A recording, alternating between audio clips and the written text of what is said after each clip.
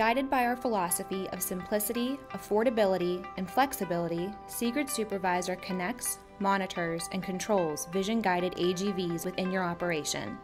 Three components Fleet Status, Intersection Manager, and Switchboard provide visibility, control, and automation.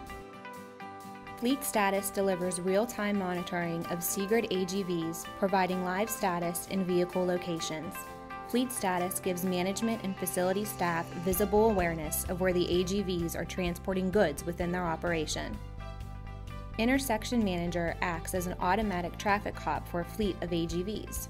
Requests for access into common areas are granted or withheld as traffic dictates, optimizing material flow and throughput.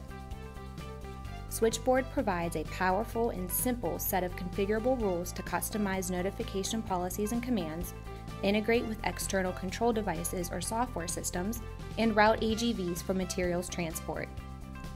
Seegrid Supervisor powerful tools to simply and efficiently connect vision guided AGVs with the rest of your operation.